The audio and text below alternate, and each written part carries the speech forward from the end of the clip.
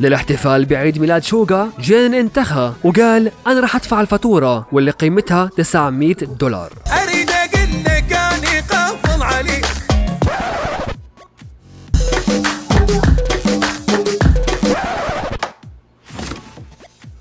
كما انه فرقة BTS على استعداد تام لإطلاق مسلسل أسطوري بعنوان Break the Silence ولجميع ال ARMYs تعرفوا على سبب بكاء فرقة BTS كم شخص منكم بيرغب بالانضمام لوكالة SM؟ لأنه الحلم قد يصبح حقيقة وتقديم الطلبات قد بدأت.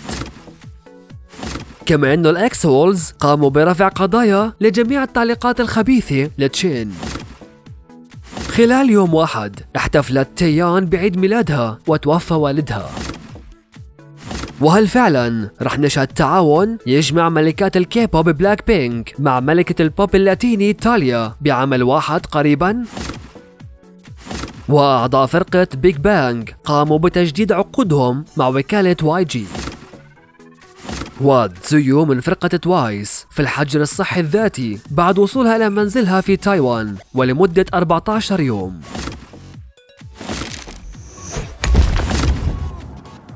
안녕하세요. 안녕하세요. Yeah, this is my name. 네, Park Bishungmida.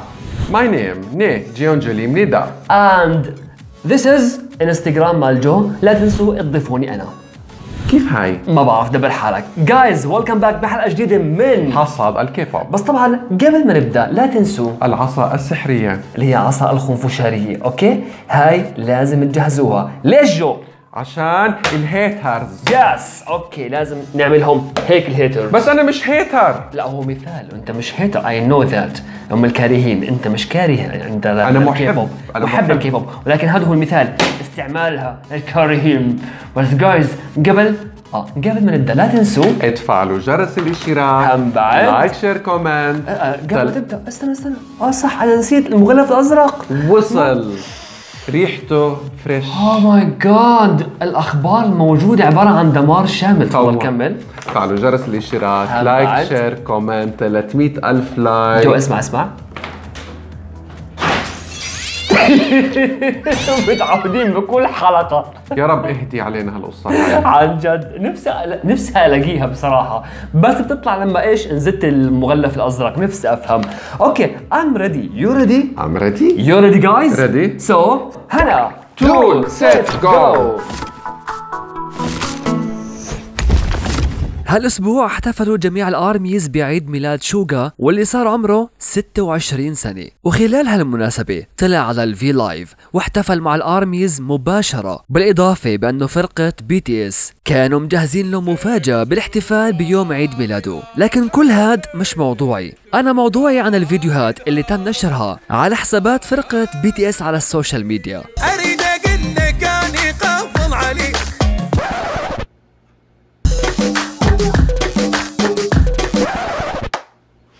تحديدا هذا الفيديو. طبعا BTS كلهم مجتمعين وهم بعد الكادر متواجدين مع فرقة BTS جيمين كان حامل قالب الحلوة وطبعا لازم يكونوا كلهم مجتمعين حول شوغا والمصور هو القائد RM. وردة فعل شوغا عبارة عن صدمة أو عبارة عن خجل أو عبارة عن شنو بالضبط مش فاهم. لكن أيضا هاد مش موضوعي. موضوعي عبارة عن منو بده يدفع الفاتورة. وإذ فجأة جين بيطلع وبقولهم والله ما حدا بيدفع غير أنا. وإذ بيتفاجأ بأنه الفاتورة بقيمة 900 دولار. Yes هاي الجلسة كلفتهم 900 دولار. Okay هسا ننتقل إلى الصدمة. لما قرر جين إنه يدفع الفاتورة طبعا ما دفع الفاتورة كاش دفعها عن طريق البطاقة. يعني أكو بطاقة ائتمانية. وال ARMYs معقول هذا الشيء يتخبى عليهم؟ فورا عملوا search على هاي البطاقة. وطبعا هنا المفاجأة. بأنها طلعت بطاقة VIP وهي بطاقة هيونداي السوداء الرقمية. واللي يتم توفيرها للمستهلكين ال VIP بنسبة 0.0% أما عن عدد الأشخاص اللي بيمتلكوا هالبطاقة هم 9999 شخص من أنحاء العالم. وطبعا فرقة BTS من ضمن الأشخاص الحاملين لهاي البطاقة المميزة اللي بتوفر خدمات لحاملها بمزايا مثل خدمات المتعلقة بالسفر والثقافة وال concert والفنادق وخدمات التجميل ورحلات ال first class. أما بالنسبة للحد الأدنى اللي توفره هالبطاقة لهالمستهلك هو 1700 دولار. فلذا بكل بساطة شال جين البطاقة ودفع بكل بساطة 900 دولار بهاي الليلة. وقال له شوقة اختفي عن وجهي. لا طبعا هي من عندي بصراحة. كما أنه هالأسبوع رح تنزل ال soundtrack الخاصة ل V لأنه قام بغناء ال OST لدراما Itaewon Class. فيعني ال ARMYs بكامل حماسهم لحتى يسمعوا ال soundtrack الخاصة لهالدراما. واللي من بطولة أعز أصدقائه بارك سيو جون فلذا مشاركة صوت V بهالدراما رح يرفع بشكل أكيد بالمشاهدات والإعجابات مثل الصاروخ. كما أنه رح تنزل ال soundtrack بتاريخ 13 March واللي بعنوان Sweet Night okay هسا ننتقل إلى يوك سونغ جاي من فرقة BTOB واللي عبر عن مشاعره الصادقة حول ألبوم فرقة BTS الجديد. هسا خلال المقابلة كان المفروض بأنه يوك سونغ جاي يتحدث عن أحدث ألبوم قدمه لكن سؤال واحد طرحه بعض ال ARMYs حول ألبوم فرقة BTS ومن بعدها نسي حاله وصار يتكلم عن إعجابه الشديد بالألبوم والأغاني المذهلة اللي حطمت أرقام قياسية. فبعض ال ARMYs بيعرفوا بأنه يوك سونغ جاي و V من BTS تجمعهم صداقة جدا قوية كونوا اثنيناتهم بنفس العمر. وقال RM وأكد بانه فرقة BTS بدأوا بالبكاء بعد ما سمعوا بانه حفل سيول التغى بسبب مخاوف من تفشي الفيروس. خلال تواجد RM قائد فرقة BTS على ال V Live أعلن وأكد بأن وكالة Big Hit قامت بإلغاء حفل فرقة BTS في سيول واللي كان مقرر إنه يقام بتاريخ 11 و12 و18 و19 إبريل. لكن بسبب تفشي المرض تم تأجيل حفل فرقة BTS إلى شهر آخر. بالإضافة بأنه فرقة BTS حطموا رقم جديد مع ال fancam الأكثر مشاهدة عبر التاريخ واللي ما بتعرفوه بأنه جميع ال idols ال K-pop بتنافسوا بأكثر المشاهدات على ال fancam. ليجوا بكل بساطة فرقة BTS واثنين منهم بالذات. اللي حطموا رقم قياسي بتجاوزهم 100 مليون مشاهدة. هم جيمين و V. yes that's right هسا جيمين تجاوز ال 100 مليون مشاهدة خلال سنة بأدائه على المسرح بأغنية Fake Love بالإضافة بأنه V وخلال 10 أشهر قدر أنه يتجاوز ال 112 مليون مشاهدة بأدائه على المسرح لأغنية Boy With Luv كما إنه فرقة BTS رح يصدروا مسلسل وثائقي جديد بعنوان Break the Silence كسر الصمت. فبيعملوا فرقة BTS حاليا بتسجيل علامة تجارية لمسلسل وثائقي جديد. واللي رح يكون من إنتاج Big Hit 360 و Big Hit Entertainment لحتى يقوموا بتسجيل علامة تجارية لمسلسل Break the Silence documentary series 1 و series 2 يعني السلسلة من جزئين. وهالعمل يعتبر ثالث إنتاج وثائقي لفرقة BTS من بعد نجاح Burn the Stage وأيضا فيلم Bring the Soul وقريبا Break the Silence أما وكالة Big Hit واللي احتلت المركز الرابع في الشركات الأكثر ابتكارا في العالم لعام 2020 وهذا بحسب تصنيفات Fast Company واللي تم الكشف عن قائمة بتحتوي على 50 اسم ل 50 شركة عالمية. لكن اللافت بأن وكالة Big Hit كانت وبكل جدارة في المركز الرابع. أما عن سبب اختيار هالشركات بالذات لأنه لهم تأثير جدا كبير بالثقافة والصناعة. هالخبر مش غريب على كل ال ARMYs لأنه ألبوم Map of the Soul 7 اتصدر المخططات الموسيقية الشهرية ل Oricon وما زال عم بيستمر بالنجاحات وبيحصد جوائز عالمية. ومؤخرا سيطر على مخطط Oricon الشهري. ولو تركزوا أكثر بأنه هذا يعتبر إنجاز تاريخي لفرقة BTS كونهم مش بس سيطروا على المركز الأول لأنه لاحظوا أكو فرق جدا شاسع بين أول مركز وثاني مركز. هسا number 1 BTS number 2 فرقة يابانيه بعنوان Sexy Zone والفرق بيناتهم أكثر من 200 ألف وحدة. wow BTS wow ARMYs. وفرقة BTS أظهروا الجانب ال funny المضحك إلهم بإعلان شركة سامسونج لهاتف Galaxy S 20 هسا على الرغم أنه الفيديو قصير جدا لكنه بيحتوي على مشاهد جدا مضحكة لفرقة BTS بلقطات ولا أروع وجدا يعني natural طبيعية. لهاتف Samsung Galaxy S 20 Ultra أما فرقة Tomorrow X Together TXT واللي أظهروا الجانب المثير لشخصياتهم بعيد عن الطفولة لصالح مجلة Dazed واللي رح تكون متاحة في إصدار ربيع 2020 من Dazed إعلان هام لكل فتاة لكل شاب بيحلموا بالانضمام لوكالة اس ام فالحلم قد يصبح حقيقة. فوكالة اس ام ابتكرت طريقة جديدة وفريدة من نوعها لتدريب واكتشاف مواهب جديدة باعتبارها واحدة من أكبر ثلاث شركات بعالم الكيبوب. فوكالة اس ام حلم الكثير من الفتيان والفتيات للانضمام تحت هالوكالة. ولحسن الحظ بإمكان وكالة اس ام إنها تقوم بتدريب متدربين جداد. من خلال موقعها على الإنستا تحت عنوان tag اس ام واللي يعتبر حساب رسمي لوكالة اس ام بجانب حساب اس ام casting official فلكل شخص بيمتلك مواهب صوتية رقص راب ومظهر جميل. فبإمكانكم توقيع عقد حصري مع وكالة اس ام وهاد مش كل شيء. أيضا وكالة اس ام رح تقوم بإرسال شاحنة الطعام إلى مدرستك تحت اسمك. فلكل الصبايا والشباب هاي الموقع موجود. لأنه ال casting قد بدأ. وما أدراكم قد يتم اختيار فتاة أو شاب منكم. so so, هجوم. هسا ننتقل إلى ملكات الكيبوب توايس لكن للأسف وانس أخبار فرقة توايس جدا محزنة. نبدأ مع أول خبر. بأنه تم إلغاء حفل فرقة توايس وسط مخاوف الفيروس. وطبعا هذا القرار لمصلحة فرقة توايس والوانس أيضا. كون الوكالة قامت بإيقاف جولة فرقة توايس لايت في سيول. وقاموا فرقة توايس بالاعتذار لكل الوانس على ال social media. لكن الخبر المحزن بأن تزويو من فرقة توايس في الحجر الصحي وهذا بعد وصولها إلى تايوان. ففعلا تم تأكيد بأن تزويو في الحجر الصحي الذاتي بعد وصولها إلى منزل والديها في تايوان وهذا بتأكيد من وسائل إعلامية تايوانية وهي ليبرتي تايمز فبحسب مقالة والدة تزويو بأنه بعد ما وصلت إلى بلدها بتاريخ 3 مارس تم توجيهها للبقاء في الحجر الصحي الذاتي لمدة 14 يوم. كما إنها قالت بأن تزويو في وضع محبط جدا لأنها لا تستطيع مغادرة المنزل ولمدة 14 يوم. لكنها أكدت لكل الوانس بأن تزويو عم بتقوم بتسلية نفسها بنفسها من خلال مشاهدة الأفلام والموسيقى والرياضة داخل المنزل. وبالنهاية كلنا نتمنى لتزويو إنها تقوم بالسلامة وترجع لفرقة توايس من جديد. كما انه سوهو من فرقة إكسو على استعداد لإطلاق أول ألبوم مصغر بعنوان self portrait واللي رح يتم إطلاقه بتاريخ 30 مارس بالإضافة انه الألبوم بيحتوي على ست أغاني واللي ما بتعرفوه بانه سوهو كان مشارك بإنتاج جميع الأغاني المدرجة بهالألبوم.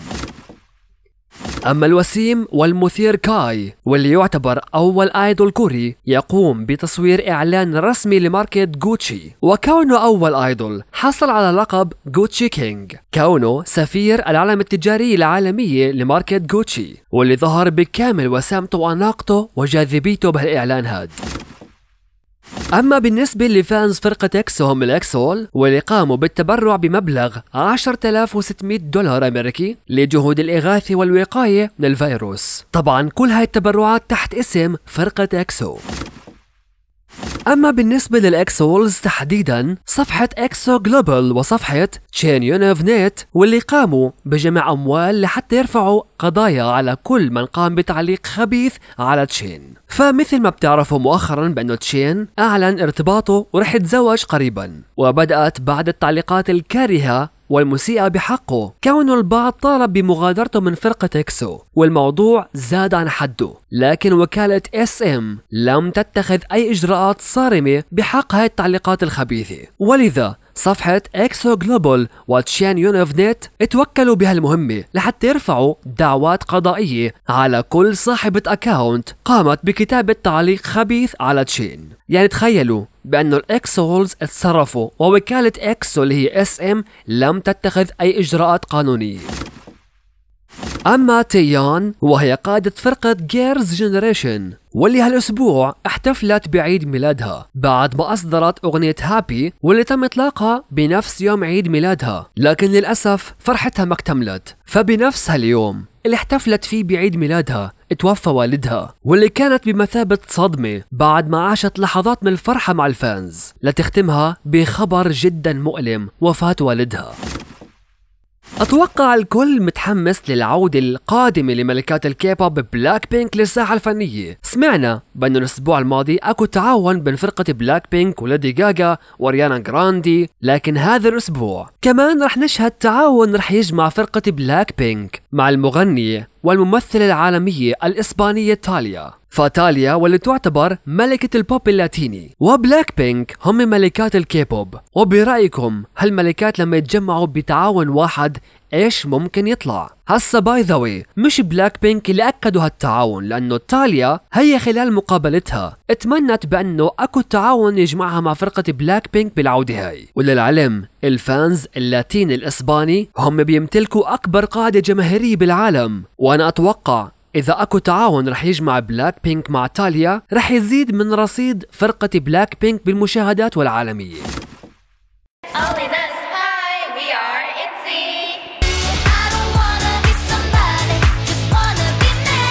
أما هاشتاج wanna be the challenge واللي كسر ام الدنيا طبعا كل ما عليكم فعله هو الرقص على أغنية wanna be لفرقة ادزي واللي احتلت الترند رقم واحد بالعالم على اليوتيوب. ومش بس هيك حتى إنه ألبوم It'z Me حطم ارقام قياسية واحتل number 1 على الايتيونز العالمي. فهالألبوم يعتبر ألبوم تاريخي لفرقة ادزي والعودة هاي عودة أسطورية كونه اللحن إدماني والفيديو الموسيقي روعة والرقصة هم بعد أكثر من روعة. يعني باختصار عمل متكامل لفرقة ادزي مع أغنية wanna be والألبوم اللي كسر أم الدنيا It'z Me أما هسا ننتقل إلى سومي واللي خلال مقابلة لها حصرية عبرت عن دهشتها وحسدها للآيدولز اللي بيقوموا بالعلن بإعلان مواعدتهم يعني بشكل عام حسدتهم. لأنه بحسب ما صرحت بأنه في كثير من المشاهير بتواعدوا وبنفصلوا من دون ما حدا يعرف وفي بعضهم بيعانوا من مشاكل بالمواعدة. والأجمل من كل هاد لما المشهور يكون واثق من نفسه ويعلن للجميع بكل راحة بأنه عم بيواعد أيضا هالأسبوع احتفلت سامي بعيد ميلادها واللي أصبحت 20 سنة. لكن طريقة تناولها لقالب الحلوى حسستني انها عم تاكل مندي أو منسف أو دولمة لأنه طريقة أكلها كانت جدا بعيدة عن تناول قالب حلوى بالطريقة هاي. هسا by the way هي حرة. هذا عيد ميلادها. خبر جدا سعيد ل fans فرقة بيج بانج بتجديد عقود. توب تيانغ جي دراغون وديسانغ فكشفت وكالة واي جي في بيان رسمي بأن أعضاء فرقة بيج بانج قاموا بتجديد عقودهم مع الوكالة واللي تعتبر ثالث مرة إلهم. من بعد ظهور فرقة بيج بانج ولأول مرة في عام 2011 وثاني مرة في 2015 والمرة الثالثة في 2020 أما جاكسون من فرقة جاد 7 واللي طلب من جميع الأقاسي الاستعداد لإطلاق مفاجأة جدا قريبة. وبحسب ما أكد بأنه كان عم بجهز لها من فترة طويلة لكنه عم بستنى اللحظة المناسبة لإطلاق هاي المفاجأة. فكم شخص منكم متحمس لعودة جاكسون للساحة الفنية؟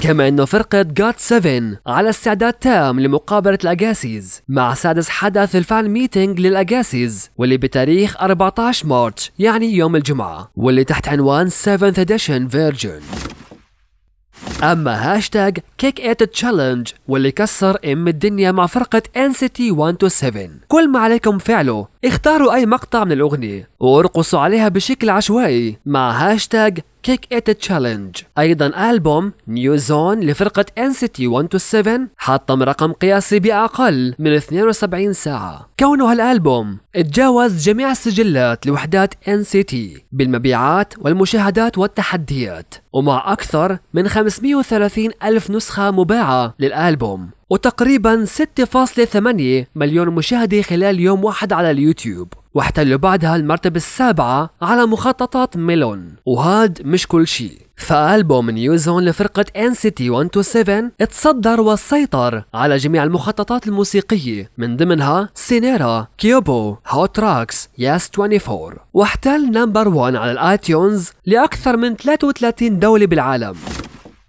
أما أساطير الكيبوب سوبر جونيور واللي سجلوا رقم قياسي مذهل بالسيطرة على الرسوم البيانية الموسيقية لكي كي بوكس ولمدة 122 أسبوع متتالي. فعلا ففرقة سوبر جونيور حطموا رقم قياس جديد مثير للإعجاب في أكثر موسيقى الكيبوب على الإنترنت في تايوان. وهذا لمدة 122 أسبوع متتالي على الإطلاق واللي كانوا number 1 أما رافي من فرقة فيكس واللي شارك إنجازاته المثيرة للإعجاب بحلقة برنامج كي بي اس Hello Counselor كونه مؤخرا ظهرت شائعة بأنه رافي يعتبر أكثر ال idols اللي بيكتبوا أغاني وأجره عالي جدا. وبهالمناسبة قال رافي أنا لست number 3 في music royalties لأنه إذا كنت number 3 كان شاهدتوني بمجوهرات ثمينة جدا. لكنه أكد بأنه بيمتلك عدد جدا كبير من الأغاني المحفوظة باسمه واللي تجاوزوا ال 126 أغنية. لكنه بعد ما أطلق أجدد ألبوماته أصبح بيمتلك 133 أغنية محمية بحقوق التأليف والنشر باسم رافي.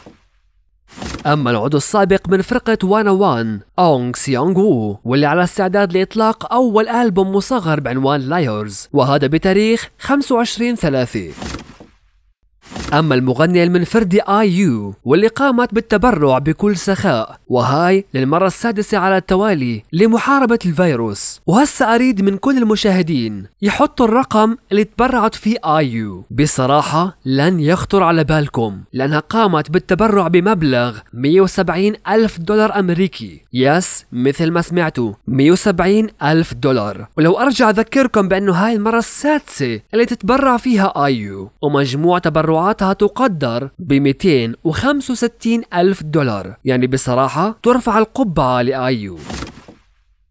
عشر فتيان من برنامج World Klass على استعداد تام لإطلاق أول ألبوم مصغر بعنوان Reason for Being. واللي رح يتم إطلاق ال MV بتاريخ 31 3 أما الألبوم بتاريخ 1 4 والرئيس التنفيذي لوكالة Pledis Entertainment ومنتج فرقة ايز وان هو هانغ سانسو واللي قام بالتنحي عن منصبه لرئيس تنفيذي للوكالة. وهاد في بيان رسمي عبر فيه عن استيائه وحزنه. كونه رح يتوقف عن إنتاج ألابيم فرقة آيز وان والتعامل معهم. بعد ما أنتج ثلاث ألبومات ناجحة لفرقة آيز وان هم كلر ايز هارت ايز وبلوم ايز وللعلم إنتاجاته ما توقفت عن فرقة آيز 1 بل أيضا فرقة 17 NU'EST و After School هاشتاج until we meet you again SR وهاشتاج take care سيانجري احتلوا الترند العالمي. بعد ما تم تجنيد سيانجري في الخدمة العسكرية الإلزامية بشكل مباشر ومفاجئ. فالهاشتاجات انتشرت على ال social media كدعم من fans فرقة Big Bang إلى سيانجري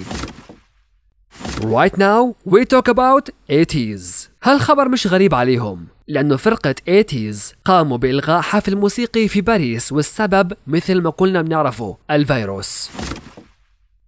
أوكي ركزوا معي لأنه هذا الخبر جدا مهم ل fans فرقة ATEEZ هسا يمكن البعض منكم ما بيعرف بأن وكالة KQ هي وكالة فرقة ATEEZ وشعار إدارة وكالة KQ Humanistic Theory وبالعربي النظرية الإنسانية. فهالشعار معلق داخل مبنى وكالة KQ Entertainment لكن ماذا يعني هذا الشعار؟ هو منظور يركز على النظر إلى الفرد بأكمله ويؤكد على مفاهيم مثل الإدارة الحرة والفعالية الذاتية وتحقيق الذات بدل من التركيز على الخلل الوظيفي. وتسعى إلى علم النفس الإنساني لمساعدة الناس على تحقيق إمكانياتهم وتحقيق أقصى قدر ممكن على رفاهيتهم. يعني باختصار وكالة KQ Entertainment مهتمة برفاهية وحقوق فرقة 80s أما المغني كانغ دانيال على استعداد لإطلاق أول ألبوم مصغر بعنوان CYAN وهذا بتاريخ 24 3 وطبعا كلنا بانتظاره كونه اعتمد اللون الأزرق الرسمي لهالعودة هاي وللعلم هذا لوني المفضل. أما فرقة ASTRO على استعداد تام لإطلاق ألبوم منفرد بعنوان One and Only وهذا بتاريخ 13 3 للاحتفال مع fans فرقة ASTRO هم AROHA للذكرى السنوية الرابعة على تأسيس فرقة ASTRO مع One and Only.